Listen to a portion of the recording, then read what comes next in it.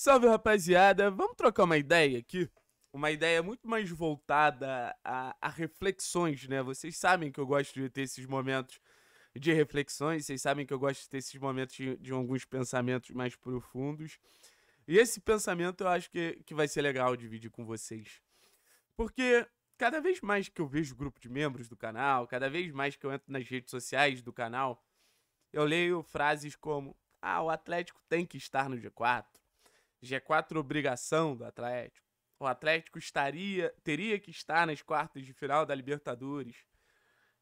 E eu acho isso muito foda, sabe? Eu acho legal reconhecer o, a potência do clube, acho legal reconhecer e, e, e, ser exigente com o clube mesmo, ter essa mentalidade vencedora como um todo.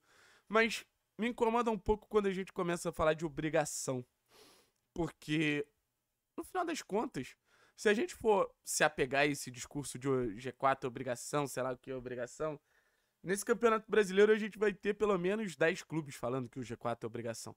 Botafogo fala que o G4 é obrigação, Palmeiras, Flamengo, Fluminense, Grêmio, Atlético, porra, Atlético Mineiro, São Paulo, Inter, Bragantino. Então, assim, se 10 consideram obrigação e só tem 4 vagas, é porque tem alguém ali que tá entregando mais do que era o indicado. E eu acho que o Atlético é um desses times. E tem alguém ali que também tá supervalorizando quanto o time ele pode entregar. E, e minha, meu debate ele vai muito por esse lado. Será que a gente não tá supervalorizando o Atlético de 2023?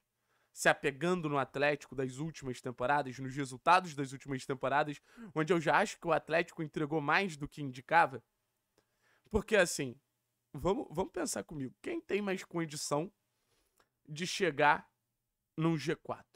No, como o campeonato tá? Atlético ou Grêmio? Eu considero Atlético. Mas se tu para pra pensar, qual folha salarial é maior? Atlético ou Grêmio? Grêmio. Qual folha salarial é maior? Atlético ou Bragantino? Bragantino. Qual folha salarial é maior? Atlético ou São Paulo? São Paulo. Qual folha salarial é maior? Atlético ou Fortaleza? Fortaleza. Qual folha salarial é maior? Atlético ou, sei lá, quem tem, tá mais nessa disputa? Fluminense, Fluminense. Então, assim, admitir que o Atlético tem obrigação de coisas grandes na temporada é admitir que você, de certa forma, confia no processo do clube. Que você acredita no processo do clube. Que você acredita que o clube, mesmo com menos em relação às outras equipes, o Atlético ele tem o melhor custo-benefício do Brasil. Porque é o Atlético que consegue brigar com menos por coisas gigantes.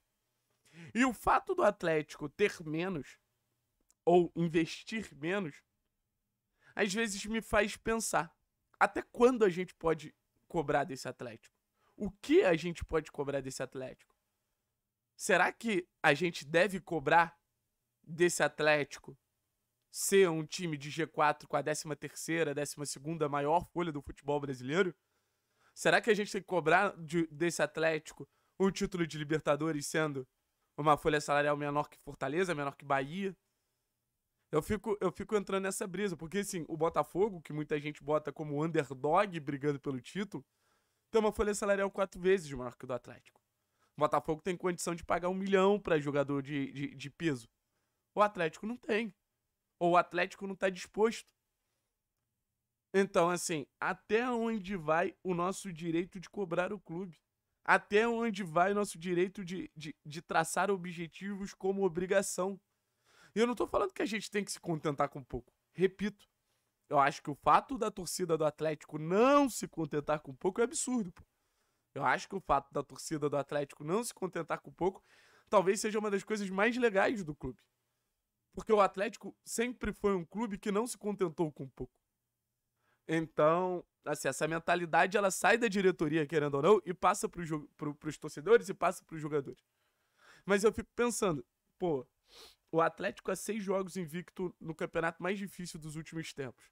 O Atlético saindo da 11 colocação para a sexta. O Atlético começando a, a, a, um novo modelo de jogo. O Atlético jogando melhor.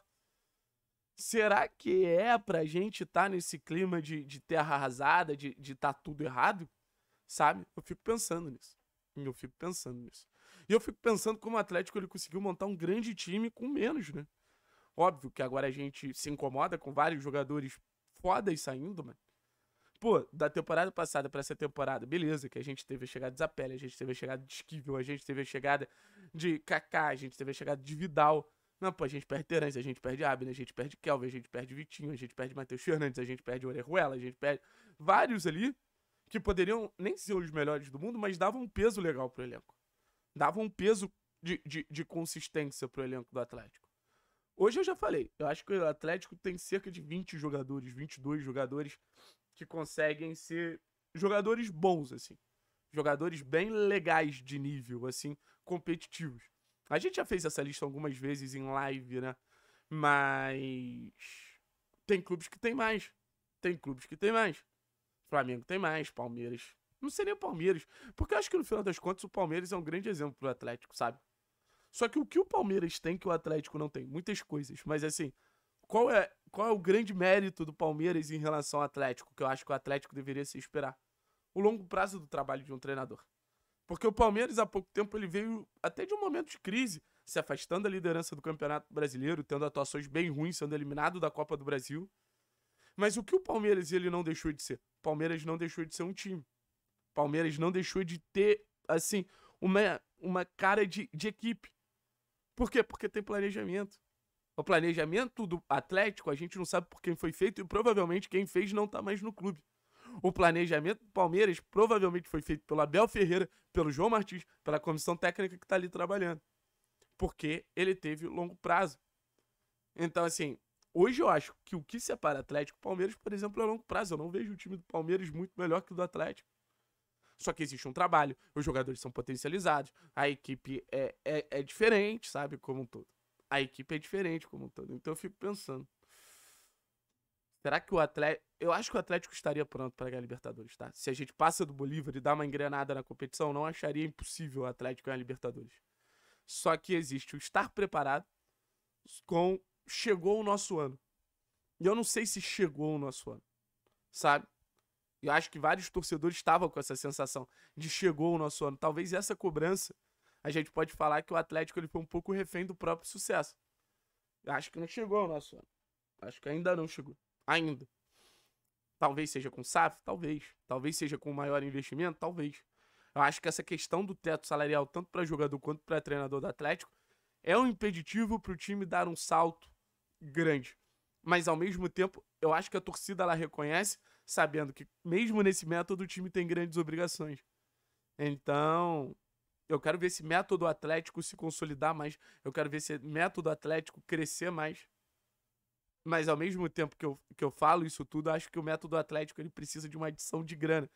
Que venha dos cofres do clube, de anos de superávit, ou que venha também da SAF. Pode vir da SAF, eu não, eu não vejo um problema disso. Mas enfim, são algumas reflexões, cara. Afinal das contas, depois disso tudo que eu falei, você acha que o G4 é obrigação? Você acha que é realmente o, Atlético o campeão da Libertadores? Minha impressão é, o G4 ele pode ser obrigação porque o Atlético ele conseguiu superar as expectativas.